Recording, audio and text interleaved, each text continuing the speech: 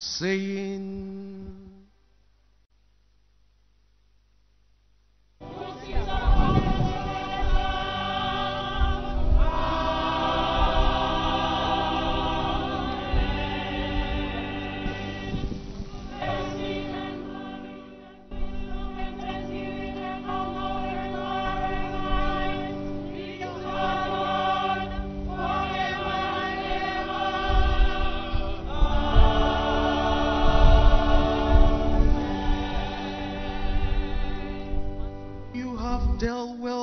your servants, O Lord.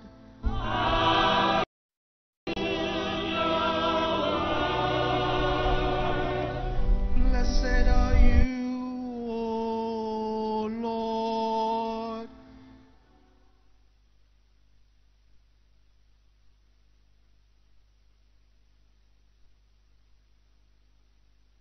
Your word is a lamp to our feet.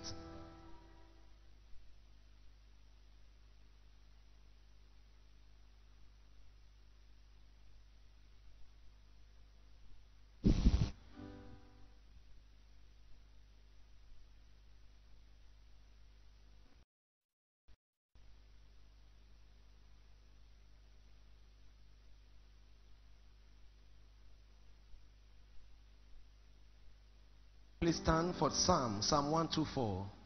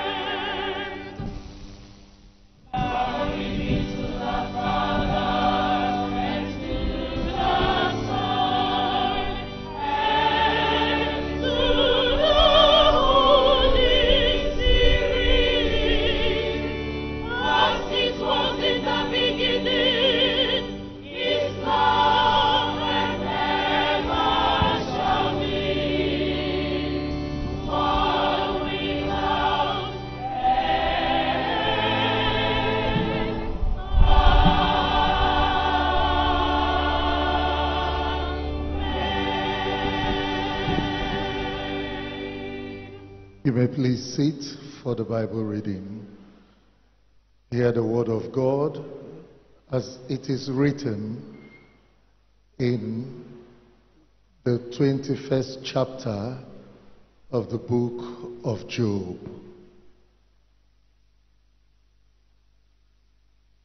Job chapter 21.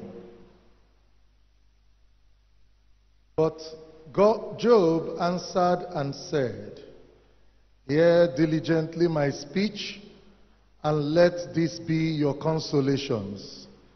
Suffer me that I may speak, and after that I have spoken, mock on. As for me, is my complaint to man? And if it were so, why should not my spirit be troubled? Mark me and be astonished, and lay your hand upon your mouth. Even when I remember, I am afraid, and trembl- trembling taketh hold on my flesh. Wherefore do the wicked live? Become old, yea, are mighty in power. Their seed is established in their sight, with them and their offspring before their eyes. Their houses are safe from fear, neither is the rod of God upon them. Their bull gendereth and faileth not. Their cow calveth and casteth not her calf. They send forth their little ones like a flock, and their children dance. They take the timbrel and harp and rejoice at the sound of the organ. They spend their days in wealth, and in a moment go down to the grave.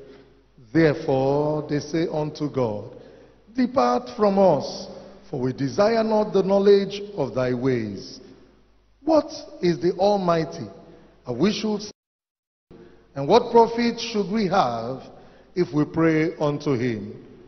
Lo, their good is not in their hand. The counsel of the wicked is far from me. How oft is the candle of the wicked put out? And how oft cometh their destruction upon them? God distributed sorrows in his anger. They are stubble before the wind, and as chaff that the storm carrieth away. God layeth up his iniquity for his children. He rewarded him, and he shall know it. His eyes shall see his destruction, and he shall drink of the wrath of the Almighty. For what pleasure had he in his house after him, when the number of his months is cut off in the midst? Shall any teach God knowledge? Seeing he judgeth those that are high. One dieth in his full strength, being wholly at ease and quiet. His breasts are full of milk, and his bones are moistened with marrow. And another dieth in the bitterness of his soul, and never eateth with pleasure. They shall lie down alike in the dust, and the worms shall cover them. Behold, I know your thoughts and the devices which you wrongfully imagine against me. For you say, Where is the house of the prince? And where are the dwelling places of the wicked? Have you not asked them that go by the way? And do you not know their tokens? That the wicked is reserved to the day of destruction. They shall be brought forth to the day of wrath. Who shall declare his way to his face? And who shall repay him what he hath done? Yet shall he be brought to the grave, and shall remain in the tomb. The clods of the valley shall be sweet unto him, and every man shall draw after him as there are innumerable before him. How then comfort ye me in vain? Seeing in your answers there remaineth falsehood. This is the word of God. The Lord had promised good to us. His word, our hope secures. He would be our shield and portion as long as life endures. The hymn number three, page 15 for the gradual.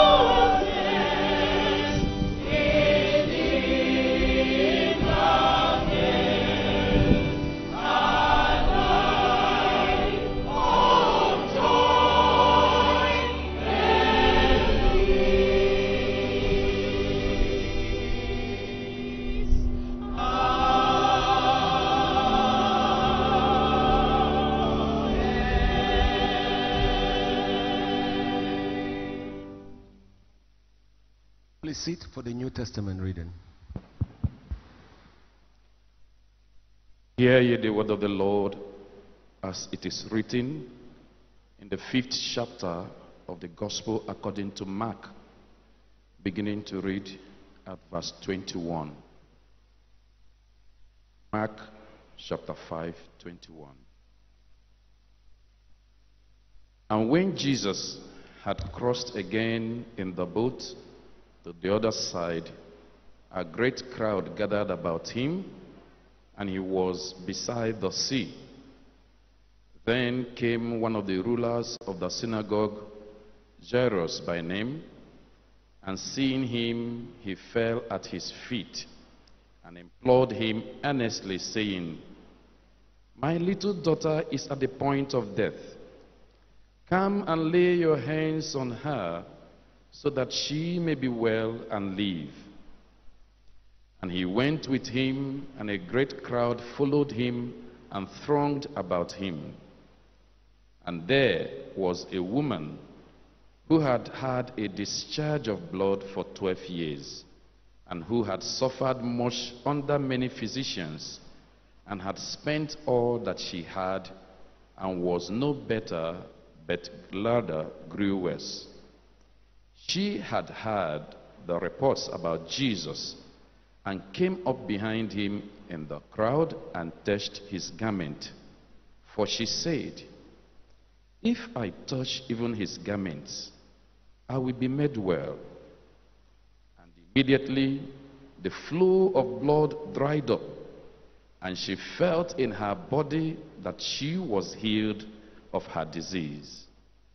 And Jesus, perceiving in himself that power had gone out from him, immediately turned about in the crowd and said, Who touched my garment?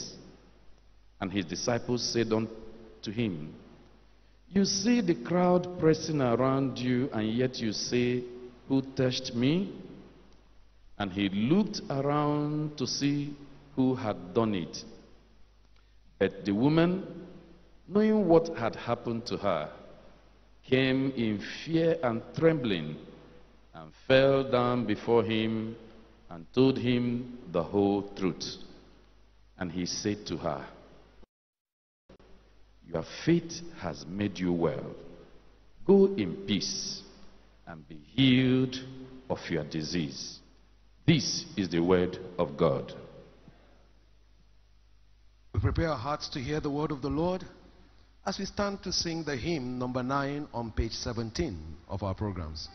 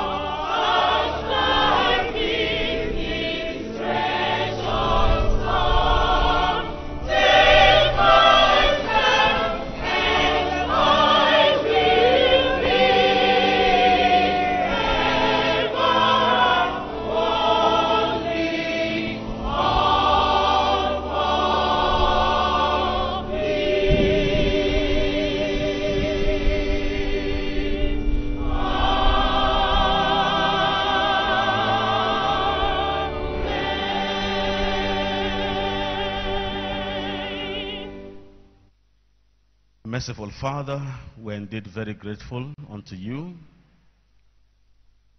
for your grace and mercies released upon us, and for us to be able to gather this day before you. We are so grateful. And we ask the Lord, you will have your way even in our midst. We recognize the fact that without you we can do nothing. We ask you, speak to us, even at this moment. Let your name be glorified. May our gathering here this year not be a waste of time. But Lord, we pray that you will meet us on this mountain and bring about transformation and renewal in our lives. Speak to us in the language we all will understand to your glory and honor. In Jesus' name we have prayed. Can I hear better? Amen. Please be seated. Beloved, we thank the Almighty God for making this conference a reality as we are here gathered today. Despite all the challenges that have befallen us in one way or the other. Last year, this program was to hold here in Port Harcourt, but because of the coronavirus pandemic, this program could not hold. And even this year, it was not certain if the program will hold or not because of the insecurity situation in our country. But, beloved, God has made it possible for us to gather. And here we are for this year's All Clergy Conference. Can we give the Lord a resounding clap offering? To him alone be the glory and honor, power, majesty, dominion, all that is worthy of his praise be ascribed unto this holy God, who is higher than the highest, greater than the greatest, the one who do great wonders and has no comparison. To you alone be all the glory. Amen. Please be seated and God bless you.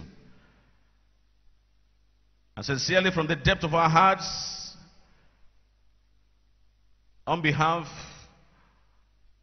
of the Diocesan Board, the clergy, and faithful of this diocese of Niger Delta North, we want to especially thank our father, the head of our church, the most Reverend Henry Chukwudum Ndukuba, the Metropolitan and Primate of all Nigeria. We want to appreciate him for this privilege granted unto us to host this conference this year. We say, May the Lord bless you, our Father in the Lord, and increase you on every side in the name of Jesus. I know clergymen don't like saying amen. We shout when we hear congregation to shout amen. Now you can't say amen. Can we say better amen? We welcome our own Archbishop, the Most Reverend Dr. Blessing Enyindah, the Archbishop of the province of Niger Delta. Your Grace, we welcome you. We want to welcome the Central Planning Committee Chairman, the Right Reverend Dr. S.O. Sowale. My Lord, you are welcome to Port. And all others who are here, our fathers in the Lord, we want to welcome you specially and pray that the Lord will bless you. We know that by tomorrow we'll have many more persons here. We also want to appreciate the Venerable Isua Seidu, the prolocutor. Is he around? God bless you. You're welcome. God bless you. Welcome to Port Harcourt. And we welcome all clergymen all across the nation. And know that a good number of us are not yet here. By tomorrow, many will be arriving, or some are still on their way coming across the nation from the north, the south, the east, the west of this country. We welcome you and pray that your stay in Port Harcourt will be a memorable one. The amen is still going down. We pray that here where the Lord has brought you, the Lord will meet you here in this mountain. He will cause you to go back a different person. You will not go back the same way you came. And I want to encourage you to pay attention, be part of all the programs. Please, this is not the time for you to go visit your relatives and friends in Port Harcourt. A good number of persons do that. In programs like this, you only come on the closing day and look at the environment so they can tell stories when you go back. But that is not good. Please be here. The Lord has brought us here for a reason, and we pray that the Lord indeed will meet us. We'll take our test from the theme, the theme test. I'm not doing an exposition or a talk on the theme, but this is just a welcome service just to point at a few things from that passage. And I'm sure those who will be talking about it from tomorrow will do a more elaborate work on it. What we're going to be doing here today is more or less what we call Sunday school theology. But from tomorrow, we'll go into the deeper theology. So just follow us as we say a few things here this evening and pray that the Lord will bless each and every one of us. Please, if you don't mind, can you stand as we read that scripture together? First Timothy chapter 4, verse 6. We'll read together. I know we'll have different translations. Media, can you put it up there? I have NIV version here. Can we read together? One to go. If you point these things out to the brothers, you will be a good minister of Christ Jesus, brought up in the truth of the faith and of the good teaching that you have followed. May the Lord bless the reading of His word in our hearts in the name of Jesus Christ. Please be seated. We're going to read that same passage from the New Living Translation. It says, if you explain these things to the brothers and sisters, Timothy, you will be a worthy servant of Christ Jesus, one who is nourished by the message of faith and good teaching you have followed. Just a little background. About the tail end of Paul's apostolic ministry, a serious disruption was troubling a long established Christian church. And what was the problem? Some church leaders had become false teachers. Paul had warned the church before now of the things that were to happen. So it was not a new thing to them. And this we can see in Acts chapter 20, verse 29 to 31. Please, can you put that up for us? Acts chapter 20, verse 29 to 31. It's like the media, they are not doing that for us today. Acts chapter 20. I'd like to read that scripture to us.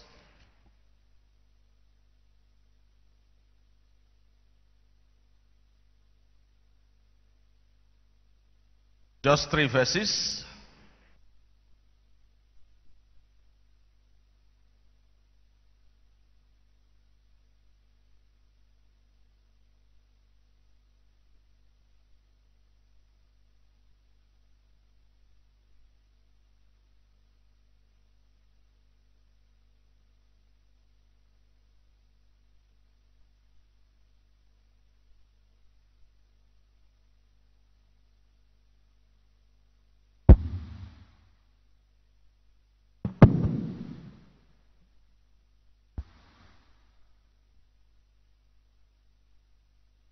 Media, you are, you are lagging behind. Please change that battery and return that one. That one is better.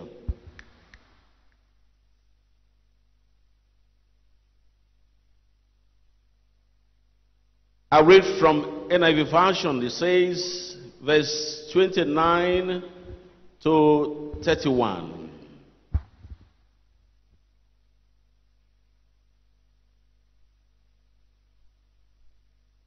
I know that after I leave, Paul was saying, savage wolves will come in among you and will not spare the flock.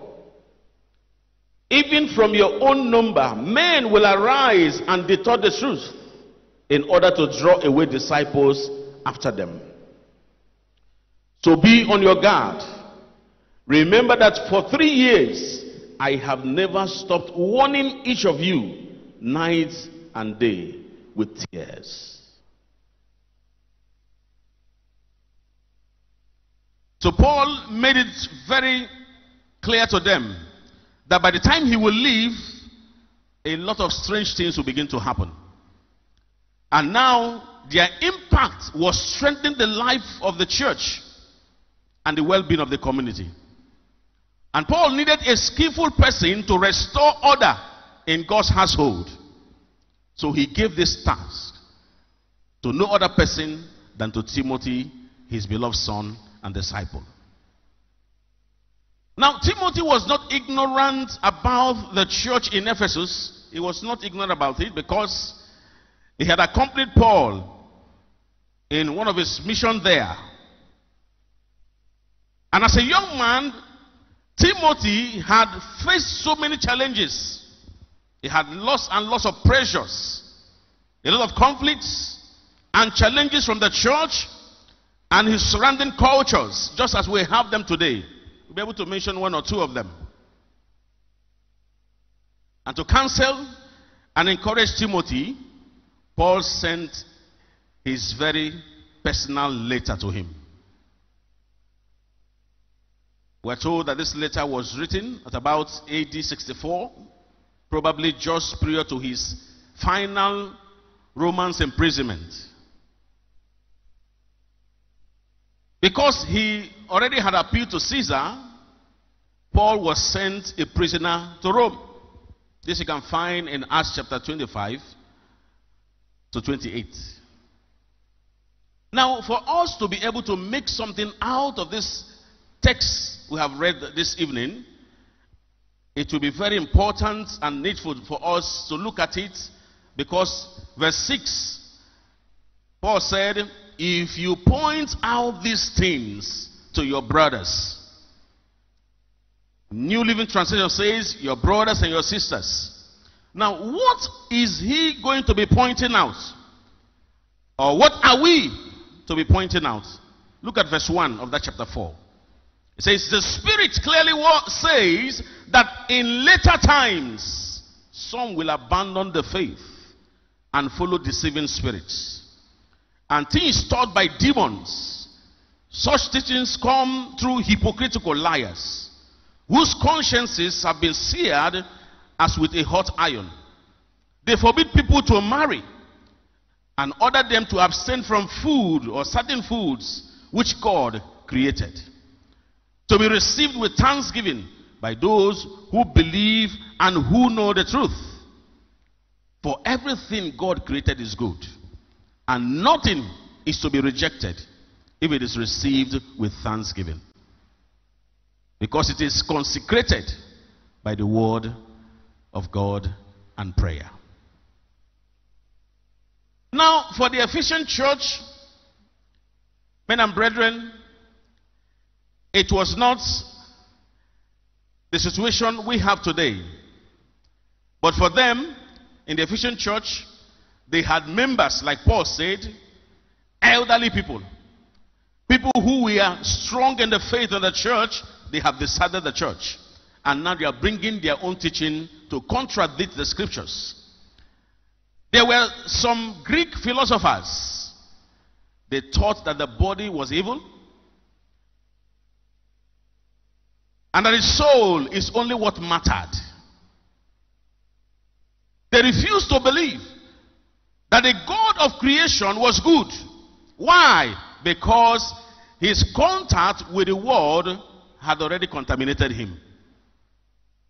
And they said that how can Jesus claim to be God and also claim to be man?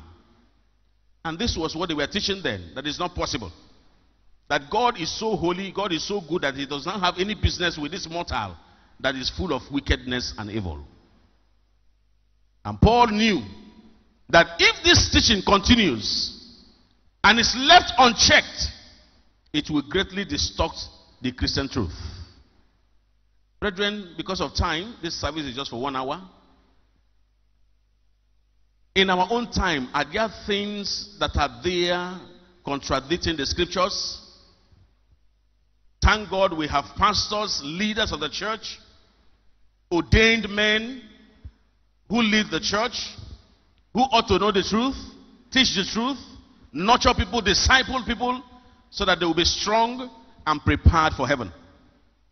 Are there things, strange teachings, and things that we see around us today in our own time? There are very many, many of them. But we'll just point out a few of them. I'm sure those who are going to talk about this will take time to tell us many more things about it. One of it is what is tithing. Today in our time, I have heard people over and over say, with impunity and with all amount of boldness, that tithe is not scriptural. That if you are paying tithe, that the tithe is collected by the pastors and pastors are criminals. But one thing that pains my heart is that the Anglican priests, most times, some of them are also as vulnerable as our members. Some of the teachings we hear from maybe it does not matter whom the person is, how highly placed the person is in the, in the world. What will suffice is the scriptures. It's not man made ideology or what you feel. Some of us will swallow this hook, line, and sinker and begin to even teach this to our members that tithing is an Old Testament practice and is no longer in vogue now. That is a lie from the pit of hell. It is not true, it is not factual, and the Bible did not say such. And I'm sure that a good number of us know what we're talking about. I won't go deep into all. We'll just mention a few and we're going to pray. Number two, not too long ago, I don't know what is happening in your own dioceses, but it happened here. It came to this area, but by God's grace, we fought it, and I think that thing, uh, I don't think it's working again in this area. If you are wearing earring, necklace, bangle, you are going to hell. You're already in hell. Is it happening in your own area? Did it get there? They're looking at me as if they're not seeing me. Did it get to your own area? It got here. And so many clergymen became advocate of it. That if you wear earring as a woman, you wear necklace, and you wear bangle, that this is what the Bible, that God, Moses, sorry, Aaron, that is what Aaron used to mold the golden calf. And if anybody is still doing this, and God said nobody should wear that again. So if you wear it, in short, you forget about heaven, just wait for hell until when the time comes. Teachings that I don't know where they get, they're getting it from. And there were some video clips that were flying that time of testimonies of people who went to hell, came back because they wore earring. That is not true. I don't know the hell where you went to. Maybe the one, the hell is in your village. And some of them are not even Christians. Some became Christians, they say they became Christians one month after, and they start having revelation. Pastors and priests in the church of God, there is need for us to be grounded in the word.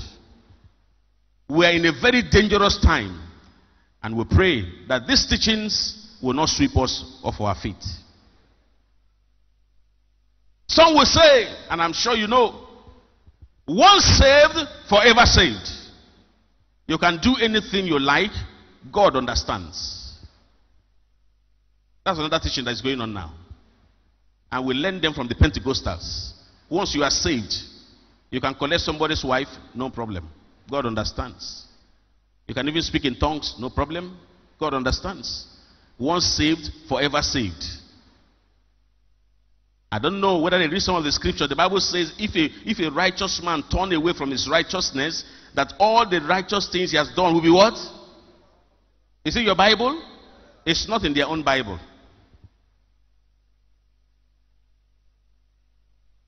And they're telling me that once you are saved, you are saved. So you can do anything. You can tell lies. You can deal with people anyhow. And you get away with it. You have been saved and you are bound to go to heaven.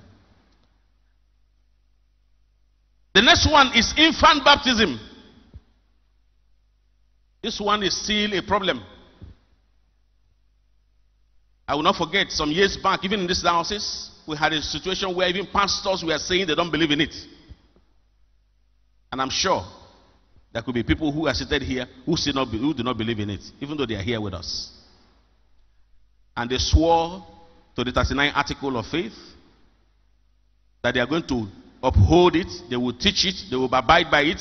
You are telling lies in hypocrisy because you want the color. But when it comes to infant baptism, I, we had a pastor that worked with me one certain time.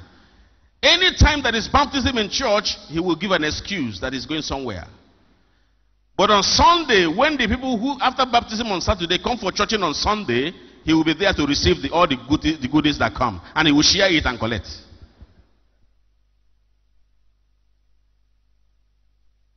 Is it hypocritical? That's what the Bible says. Hypocritical liars. They don't believe in infant baptism. And they condemn us for doing that. That why should we baptize infant? Jesus did not ask us to do that. And a good number of us are believing that. We hold that ideology very strongly. And this season of if you don't do miracles and there is nothing for you to show people that you are you are a man of God, they will not come to your church. So a good number of our priests now have anointed blessed oil Oil, blessed oil, blessed water. A good number of us are turning native doctors by the day. Because if you don't do that, you're not powerful.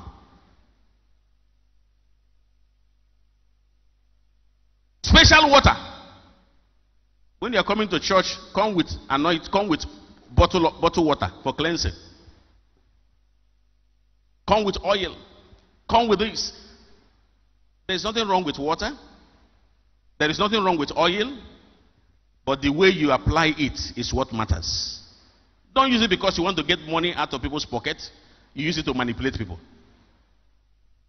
Wrong teachings. What about the giftings of the Holy Spirit? There are still pastors and members who don't believe in the gifts of the Holy Spirit. There's one pastor who said, when he said speaking in tongues, he said, Stop that speaking in tongues. He said, There's nothing like that. That these people use this to deceive somebody. There are still pastors who don't believe in prophecy, they don't believe in the giftings of the Holy Spirit. And some of them go ahead to teach it to our members, even in church. I pray that in this conference, God will open our eyes because we need to be prepared. We are going back to face challenges. We're in a time when a lot of teachings are going on, just like Paul was saying to Timothy. If you know these things, you will be able to teach these people and deliver them from their errors. But if the man who is to teach is also contending with it, what will he teach? If a pastor with collar trained in Umuahia, trained in Awka, trained in Vinings, trained in uh, Bukuru, or wherever. And you come, you are supposed to be teaching people the word of God, and you are teaching the contrary. You become a disciple of the devil. What about the cultural practices? A lot of things are happening now because of wanting people to fill up our churches a good number of us are allowing some things to creep into the church gradually.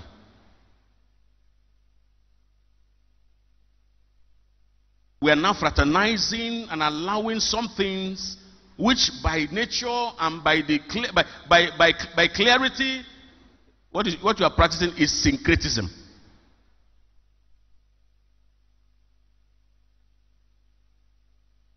The Catholics allow masquerade to the church. They pour it water and bless it. The masquerade is a Christian. All you need is to baptize the masquerade, and the masquerade will become a child of God. Our Anglican brethren are now beginning to toe that line because maybe their own church is getting fuller than our own. Men and brethren, God is not looking for numbers. Am I talking to somebody here? If there are faithful persons, five that are going to heaven, God is happier. It's not a multitude in your church. That is why a good number of us these days are not preaching the truth anymore. All we do is to massage people's ego in the church. When a man who is a big man comes to your church, you change your sermon, change your message, massage his ego very well. So that at the end, all you are looking for, if he can give you one million or two million to build your church, what about building the kingdom and building the people? If you know these things, you will be able to teach. You will be able to correct.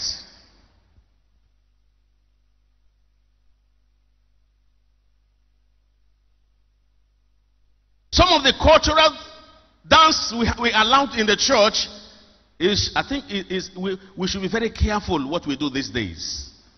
In the name of wanting to allow to, to allow things flow. May God help us. May God deliver us. There are areas where, when there is a traditional practice, they'll tell the church you won't hold any program until we finish. We have a lot of things to contend with. But when we make laws, they will not obey it. But when they make theirs, we obey. There was a time when people will finish wedding in church. I'm sure it's still happening in some areas.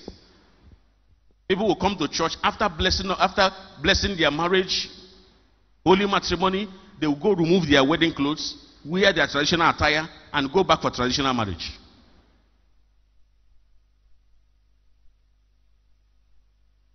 After wedding in church, they will now go back, remove the wedding gown, remove the suit, now wear the wedding, their traditional attire, go back, and now do, do carry wine, looking, looking for their husband.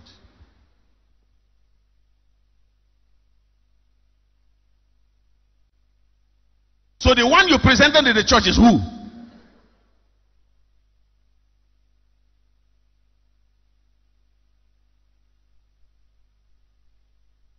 And the pastor will accept it because you are looking for 5,000 naira envelope.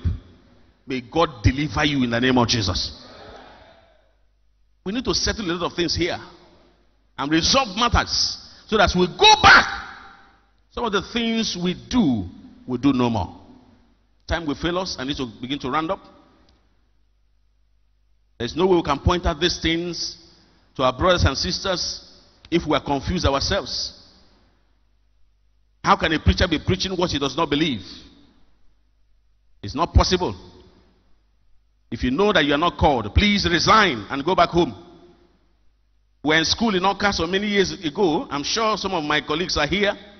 We're in class and somebody raised his hand. I won't forget it till the day I die. He asked the lecturer, Where is heaven? I looked at turned and looked at him. He said, Where is this heaven people are talking about? Where is this heaven? And this is a man who is to be ordained to become a preacher. Ah! We have anointed demons, so we have laid hands on demons and, and, and ordained them. No wonder we have a lot of catastrophe in church. When a man is asking, Where is heaven?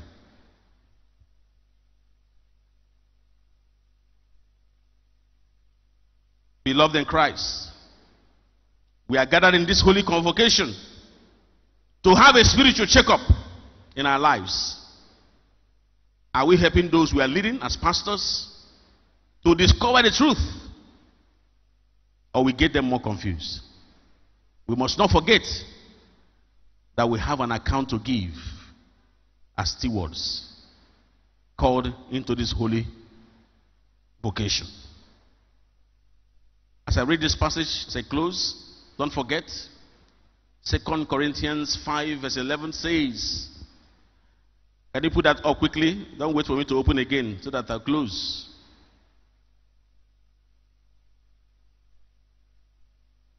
Second Corinthians. I think these people, I don't know what is your problem this evening. By the time I open now, they will open it. They'll put it there. Don't open again for me. I'm not going to look there again. Are you there now? Is that which translation is that? NIV. Can you put up King James? King James Version. That's good. What does it say there? Knowing therefore the terror of, of who? What do we do? Brethren, we must persuade men. But we are not made manifest unto God. And I trust also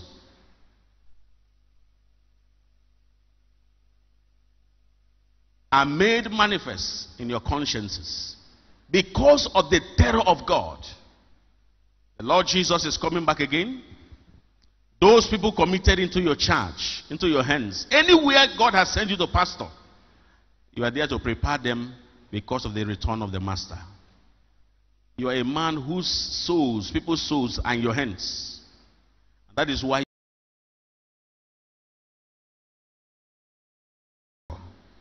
We pray that those who will be speaking to us in this conference, God will use them. And may we not have critical minds as we have. It is not easy to teach clergymen or to speak to them. Because as I'm speaking here now, some of them are looking at my theological and uh, systematic and uh, my, if my, my, uh, my, my, my, my exegesis is correct, if it is not correct, that's what they are looking at now. Please forget it and listen to what God is saying to you here. So that you don't go back the same way you have come. If you have come here with a pen to look at where somebody did not put his T and cross it and put I for the person, you are going here a failure.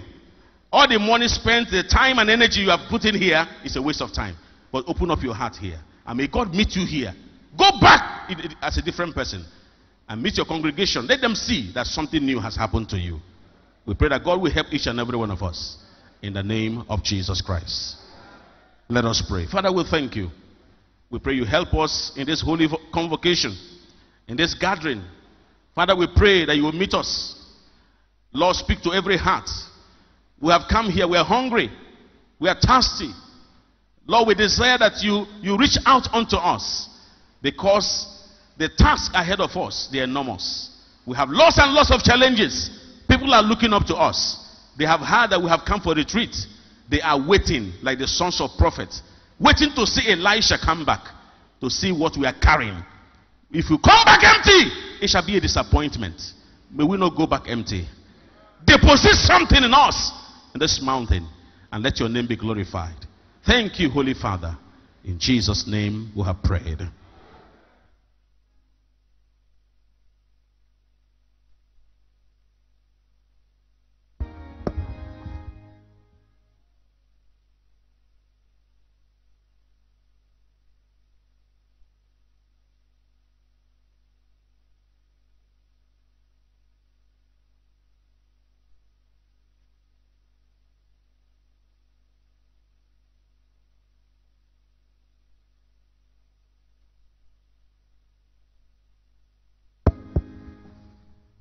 We thank very much our Father in God for that message.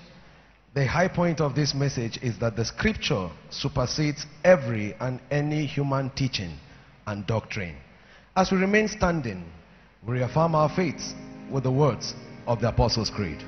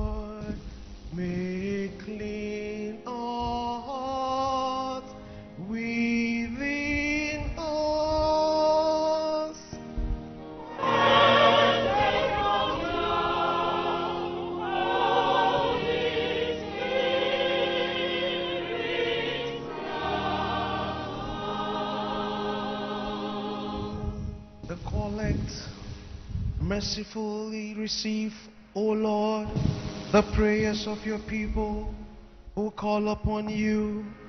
Grant that they may know what they ought to do and may have grace faithfully to accomplish it through Jesus Christ our Lord.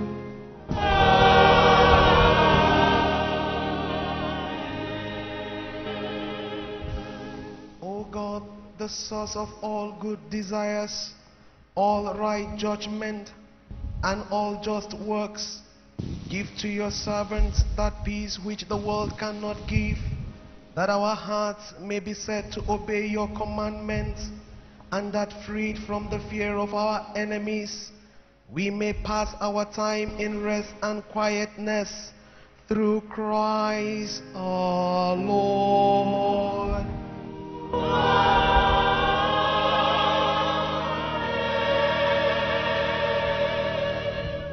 Lighten our darkness, Lord, we pray.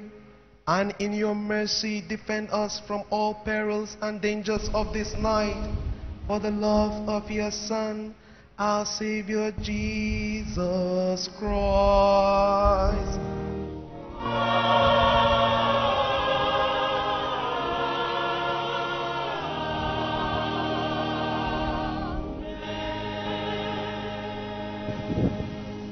Are still praying. And so, Father, we give you thanks and praise for it pleased you to have gathered us from the different parts of this country to this place. We are so grateful, Lord, to you because you preserved our lives. We are grateful, Lord, to you that in the midst of the turbulence and the pestilences, Lord, that you have preserved us. We were supposed to have gathered here last year, but we were unable to do so because of the COVID crisis. And Lord, we are grateful because you've preserved our lives and we are here today. And this conference is a reality. Again, Lord, we thank you, Lord, that in the midst of the insecurity, Lord, we have in this country, you've been faithful and you preserved us. We thank you, Lord, that in the midst of the intimidations that the church, your Lord, has been going through in different parts of this country, your church is marching on and the gates of hell cannot prevail against it. Lord, we are so grateful for our families and for what you've done for us. We are so grateful to you, Lord, for journey mercies, Lord, granted to all travelers and those, Lord, who are yet to join us. We thank you, Father, for bringing us, Lord, from our different stations, Lord, and dioceses, Lord, to this place to seek your face in this mountain. We thank you, Lord, for the gift of the, the speakers and the resource persons, Lord, that will be speaking to us in the course of this conference. And we thank you most importantly, Lord, for the gift of Jesus Christ. For whom, Lord, we are gathered here today. And we are so grateful. We can't thank you enough. And so, Lord, we praise our thankful gratitude unto you in this service. And say, may you alone be glorified and exalted for what you have done. In Jesus' mighty name we pray. Nigeria is for Jesus. Nigeria is for Jesus. Your servants are saying, Nigeria is for Jesus. Nigeria is for Jesus. Nigeria is for Jesus. Your servants are singing, Nigeria is for Jesus, eternal rock of ages. The scripture says that the earth is yours and the fullness thereof, the world and they that dwelleth therein, including this nation called Nigeria. As your servants, O God, we commit this nation again into your hands. The scripture says that you are able to keep everything committed into your hands. We lift up our President Muhammadu Buhari, the Vice Yemi Osinbajo, the Senate and the House of Representatives, all those in the corridor of power, the governors of the 36 states of this nation, and all the local government chairmen, even the traditional rulers, we bring all before you. The heart of the king, the Bible says, is in your hands. We pray, dear Lord, that you cause these ones to do your will. In the name of Jesus Christ. Arise over Nigeria, Lord. Arise over all that men are doing to frustrate your will in this nation. Lord, the Bible said that they should gather but they will be broken into pieces. That they should take counsel, and the counsel will come to naught. That they should speak the word, and it will not stand. Because God, you are for Nigeria. We enthrone you again over this nation. We ask that you have your way. Let your will and your will alone be done over Nigeria. We frustrate the plans of the wicked from this from Abuja, oh God, the seat of capital down to the state of this nation. Though we frustrate the powers of hell, we come against the horns of wickedness that have arisen to scatter this nation through terrorism, through all forms of vices. We frustrate all of them in the name of Jesus Christ. Have your way in Nigeria, oh God. Have your way in, in the heart of all them that are in the corridor of power. We enthrone you over Nigeria. Be thou exalted be thou glorified. In Jesus' mighty name we have prayed. Almighty God, you have called your church out of every nation. We thank you for the gift and calling of the Church of Nigeria, Anglican Communion. We thank you for her leadership and the people who are led the faithful. We thank you, O Lord God, for how over the years you have continued to carry this church on eagle's wings. We pray particularly for the leadership of this church, for Henry, our primate, for blessing the Archbishop of this province and all Archbishops in this church, for wisdom, the Bishop of this diocese and all the bishops of this church, for the clergy and for the faithful. We pray that it may please you that in their time and in our time, that the word of God will be faithfully preached and faithfully received. That the sacraments will be faithfully administered and faithfully received by the faithful. We pray, O Lord God, that it may please you to heal our hypocrisies, to heal our legalism, to heal the injustices and the injuries that we carry as a church that has weakened our gospel witness in the world. May it please you, O Lord of the church, that you may bring through the ministry of your Holy Spirit the needed revival, the revival that will bring about the salvation of sinners and the awakening of those who sleep, whether they are clergy or laity.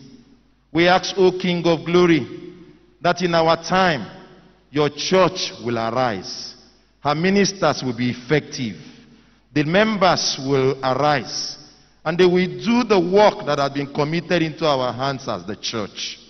And we pray, O King of glory, that as we serve you faithfully in this church and in this nation, that at all times and in all places wherever we have been placed, that your name will be glorified, that your people will be edified, that the kingdom of darkness will remain terrified.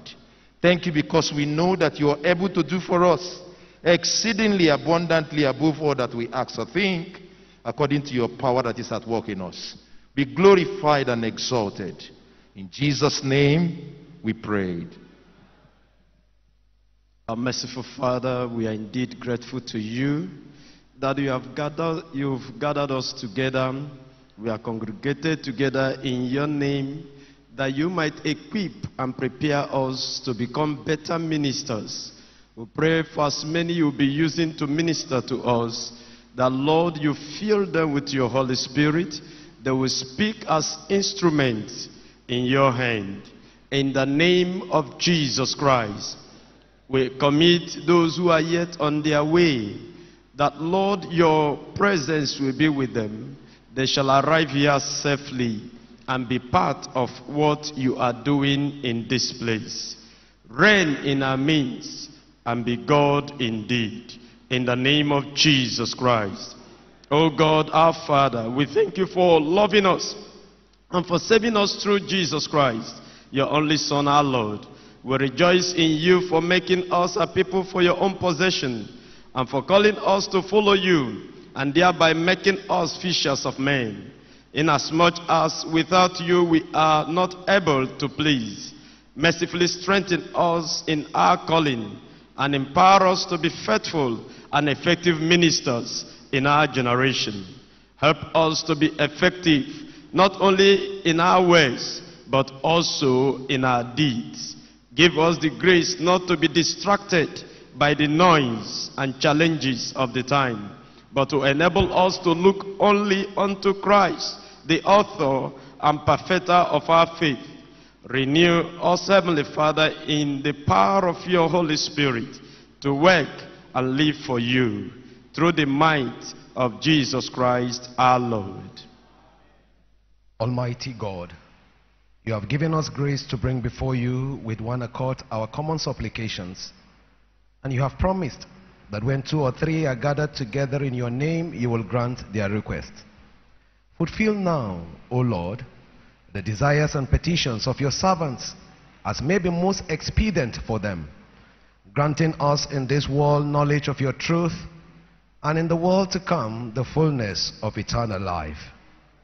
May we pray the grace together, the grace of our Lord Jesus Christ, the love of God, and the fellowship of the Holy Spirit. Praise ye the Lord. Praise the Lord. No, can we do it better? Praise the Lord. If you know you are blessed, can you make a joyful noise to the King of Glory? Somebody celebrate Jesus. Amen. Now it is time to, for us to show our appreciation to the Lord God Almighty. You will all agree with me for those that travel, the Lord had granted us safety. And the only thing we owe Him is our thanksgiving. It is rightly said that any man that learns to appreciate God has tendered an application for more things.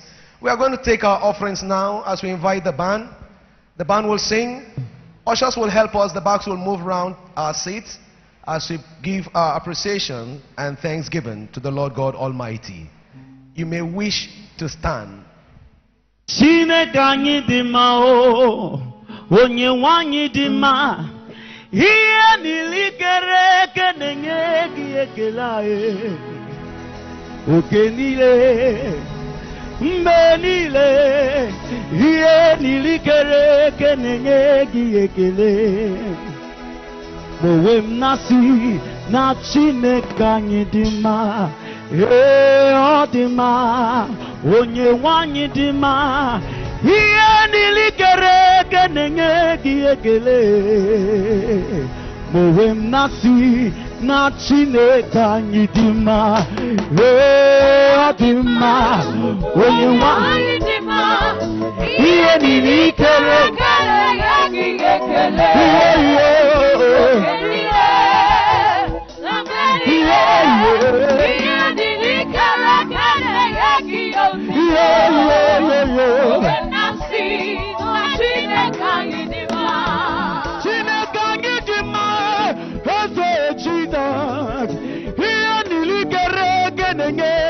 ekele anyị eh, oke niile mgbe niile ihe niile kere eke na-ekpezi ala na-enye gị ekele ee onwe m na-asị na Chineke were m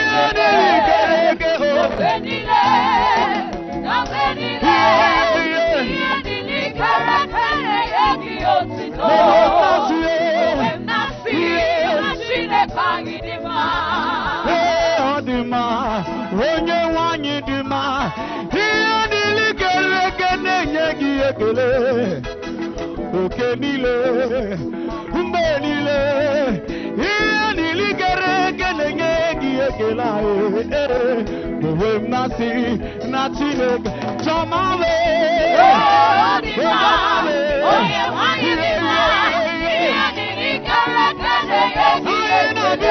na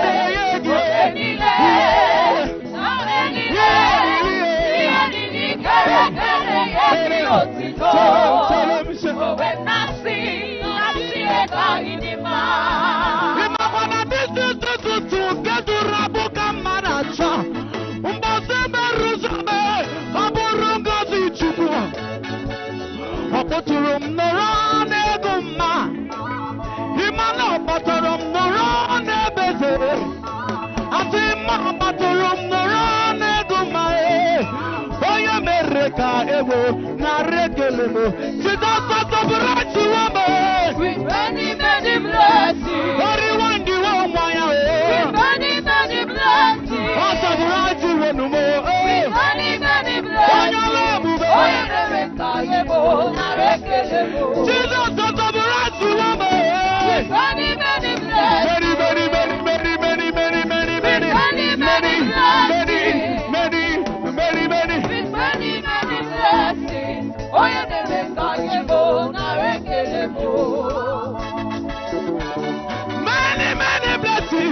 ما يجري مرتي معي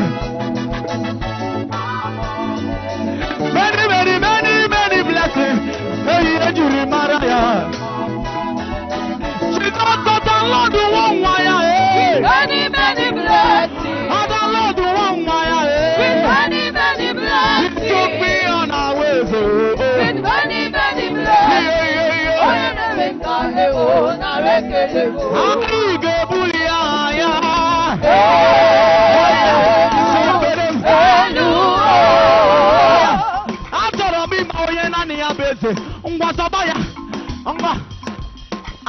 See somebody dance to the Lord.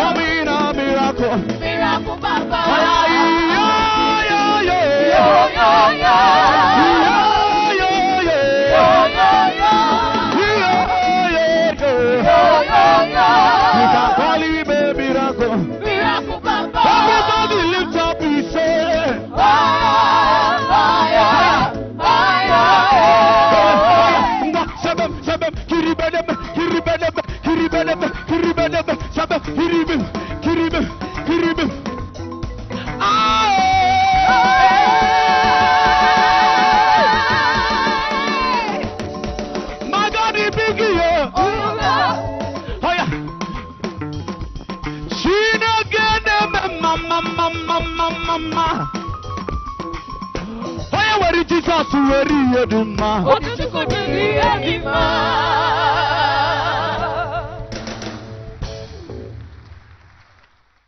Hallelujah. We give God all the glory and honor. We invite the Archbishop, the Most Reverend Dr. Blessing for other announcements and welcome of the delegates.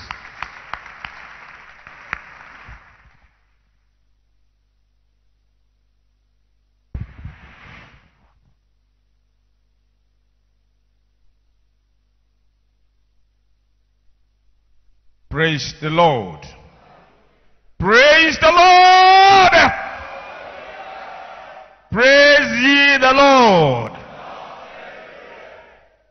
All right, before I take the announcement, I would like to invite the chairman of the Central Planning Committee of the Church of Nigeria All Anglican Clergy Conference to come and welcome us with a few remarks, after which the notices will be taken. Chairman, sir. The chairman is Right Reverend Dr. Samuel Sowole, Bishop of Elisha Diocese.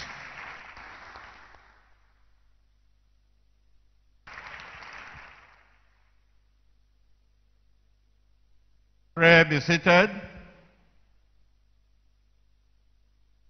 In the name of Jesus Christ, the owner of his church, and on behalf of our primate, the most Reverend Henry Ndukuba, all the archbishops and bishops of this church,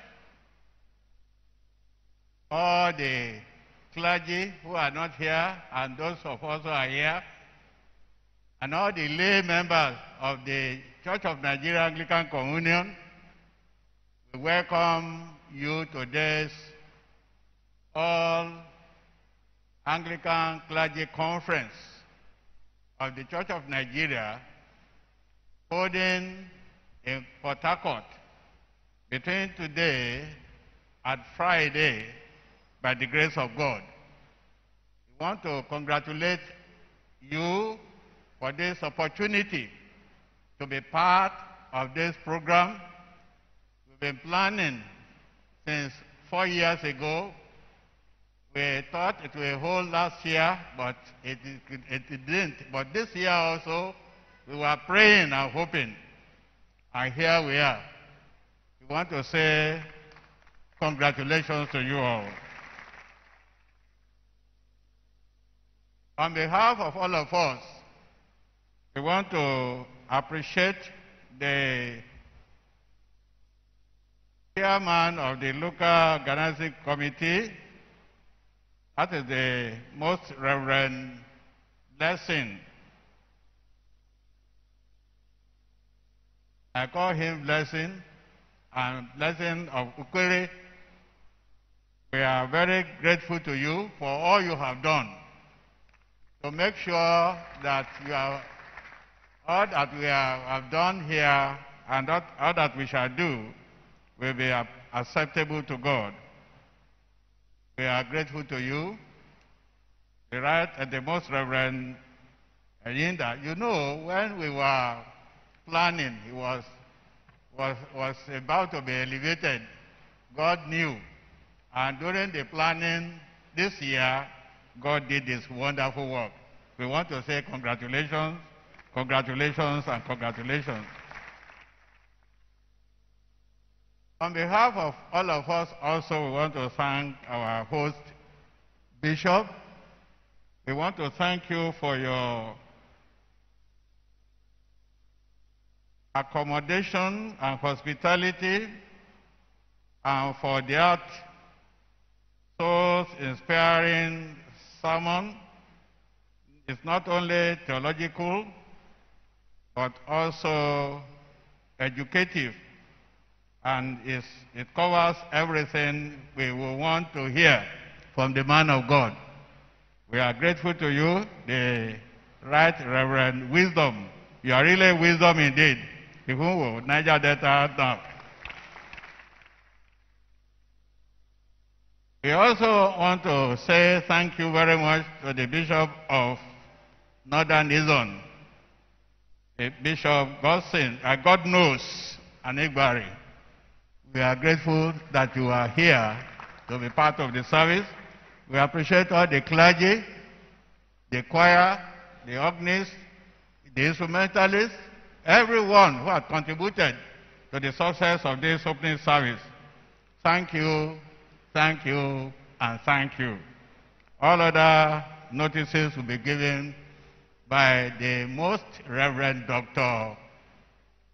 Blessing Enyindah Ikwerre and uh, Niger Delta. God bless you.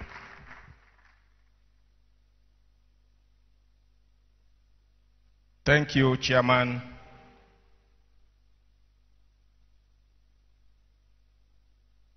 Let me also thank the Bishop of the Diocese of Niger Delta North and his team of clergy for leading this service on behalf of the province of Niger Delta. I want to thank Bishop Ambare for coming to assist. God bless you all. If you are clapping, clap very well. Don't hold your clapping. Um, we are all mature and responsible clergy in this house. So, it's expected that as soon as you picked up your program, would have branched through to know what is in there, to know what to do and what not to do. So we are not going to be talking about all these things, but I need to emphasize to you that we will try as much as possible to follow the timing as we have it on the program. So if you are sleeping and thinking that somebody will wait for you, nobody will wait for you. Maybe before you come here, would have said, May the Lord be with you and then you go back home. What am I trying to say? Try to keep to time. That's important. And if you look on page 6 of the program, you would have seen all the rules that you are supposed to observe as you participate in this conference. And uh, let me inform you that tomorrow the leader of our church the Archbishop, Metropolitan, and Primate of all Nigeria, will be here to address us as he declares the conference open. So please make sure you don't miss that aspect of the conference. Please, we are not doing any registration in this conference venue. Registration was completed and closed on 18th of August. And so if you have registered and picked up your tags, you will only be admitted into the conference with your tags on. If you don't have your tags, they will ask you to go away. It means you didn't register. And whatever excuse you may have will not be admitted at this point in time.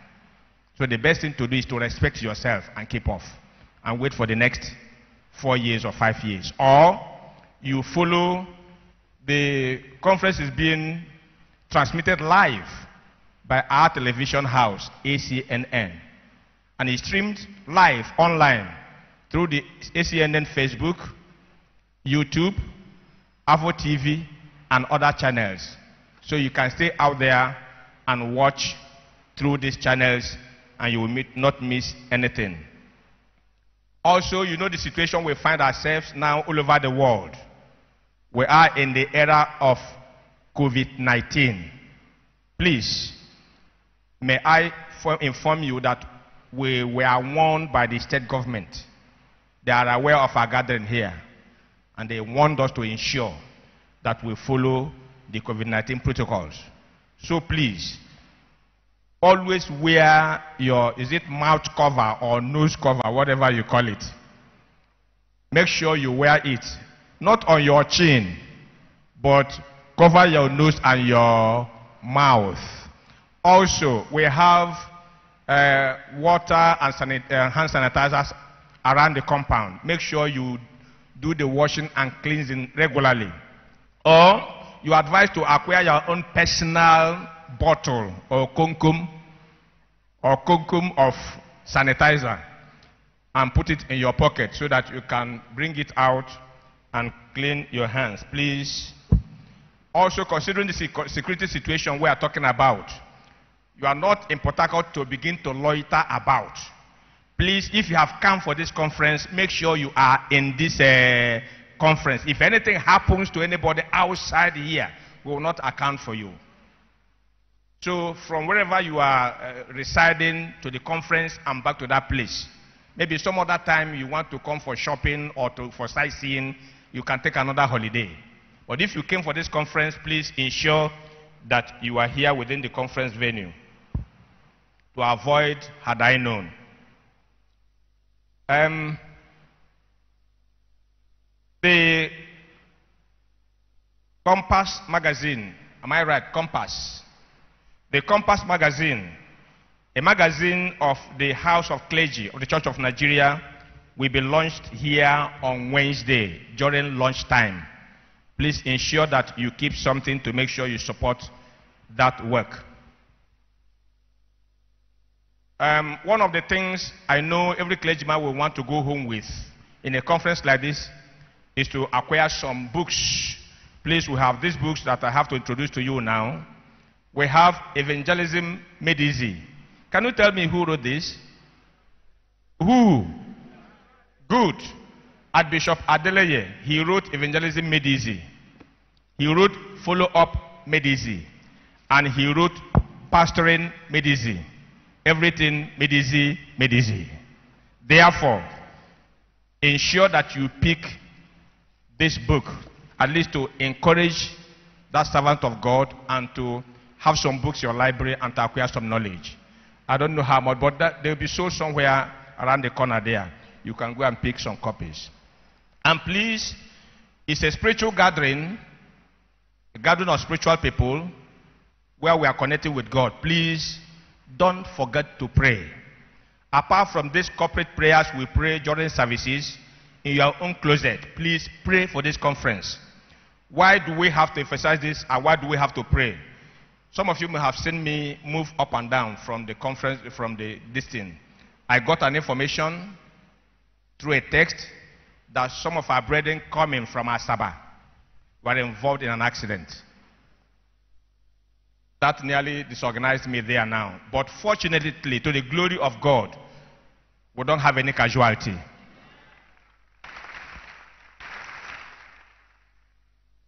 None of them was hurt. The Bishop of Sapele and that Bishop of, of uh, uh, Bendel are there settling. They, they clashed with a trailer, all this, uh, the owners of Nigeria, you know, covering the road and all, causing troubles here and there. So they're trying to settle it. But please, this means that we have to pray harder and pray well so that we can finish this conference without any negative story. On this note, we want to thank you again. If there are more things, we'll continue to inform you from tomorrow. Thank you and God bless you.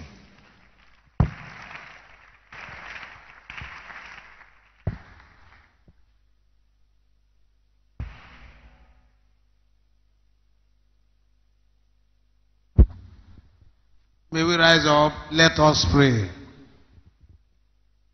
Almighty God, to whom all hearts are open, to whom all desires known, to whom no secrets are hidden, we thank you profusely for how you have started this All Anglican Lady Conference here in the Of Niger Delta North.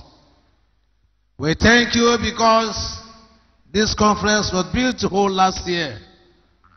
Because there is time for everything. You shifted it to this year. And here we are. And therefore we are thanking you. Father, I also thank you for the head of our church, His, His Grace, the Most Reverend Henry Ndukuba, whom you have used to ensure that this conference holds this year in Port Harcourt. We commit him unto your divine care that as he's coming tomorrow, Father, that you grant him journey mercies in the name of Jesus. He will arrive Port Harcourt Airport safely and he will join us to kickstart the opening ceremony of this conference. Father, we thank you for the chairman of the Central Planning Committee of this conference, the Right Reverend Dr. Samuel Suwale, and all his committee members. Thank you for using them to plan this conference. We thank you also for the chairman of the local organizing committee, the the most reverend Dr. Blessing Enyindah, with the chairman, the local organizing committee, for using him to ensure that this conference is properly planned and we have started it today. We thank you also, Father, for Right Reverend Dr. Stephen Fagbemi, the chairman, sub-programs and sub-committees. We thank you for the prosecutor and the camp commander of this conference. How you have so faithfully used them and we're here. We also commit at this point in time all the speakers in this conference, those that handle the lectures, those that handle the seminar topics, it is our desire that you give them wisdom, you give them knowledge. They will not speak carnally, they will speak to us. That we that are here to listen to them, Father, give us a listening ear. Give us an understanding. So that at the end of this conference, no one will go home the same in the name of Jesus. We thank you, Father, and commit all the clergy that have come for this conference. Father, may you give us the grace to partake in this conference. We also thank you for the choir we have used. We pray that you give them more strength, give them more voice to sing to your praise and glory. Father, for the host of this conference, the bishop of the Dalles of Niger Delta North, Father, will commit him before you and his entire clergymen. Lord, uphold him. Whatsoever he may have used in hosting this conference, Father, may you add unto him a hundredfold in the name of Jesus. Give him good health, long life. Also the wife, Father Opola, as you go about preparing for the hosting this conference. Lord, want to thank you as many that are in Delta that are not supporting your servant serving in one capacity or the other to ensure that this conference is making success. Father, we thank you for our brethren who are on their way coming out of the accident. We thank you because none lost their lives. But we pray that you heal them in the name of Jesus. Father, as you heal them, we pray that in this conference, deliver us, protect us, and keep us free and far from everything called COVID-19, cholera, or the Delta virus in the name of Jesus. Daddy, we thank you for this conference, for all that you have done or are yet to do. Even as we go back after this time to our various places of our abode, may we sleep peacefully. May we sleep and come back tomorrow morning strong and healthy to continue this conference. Father, while we're in this service, any that we may have made it because Father, may you forgive us. But those things we have done according to your will, may they be the source of our blessing. Thank you, Father, for answering our prayers. Be thou exalted. Blessed be your name, Father, for we have prayed in Jesus' name. Unto God's gracious mercy and protection, we commit you. The Lord bless you and keep you. The Lord make his face shine upon you and be gracious unto you. The Lord lift up the light of his countenance and grant you peace. And the blessings of God Almighty, the Father, the Son, and the Holy Spirit be with you and remain with you now and always.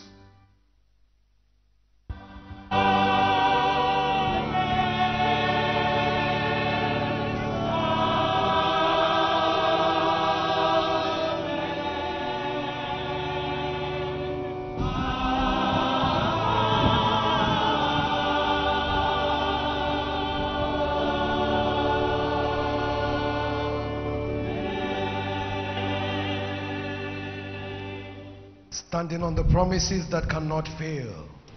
When the holding storms of doubt and fear assail, by the living word of God, I know we shall prevail, only standing on the promises of God. Hymn number 8, page 17.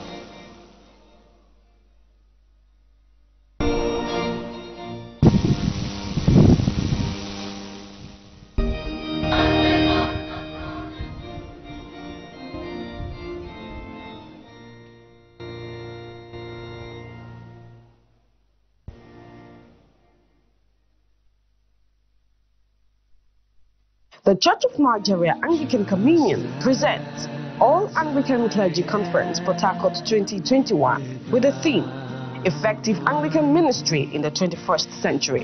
Text 1 Timothy chapters 4 verse 6. Date 24th to 27th August 2021. Venue St. Paul's Cathedral, Diobu, Port Harcourt. Featuring Bible studies, lectures, seminars, and revival sections. Chief host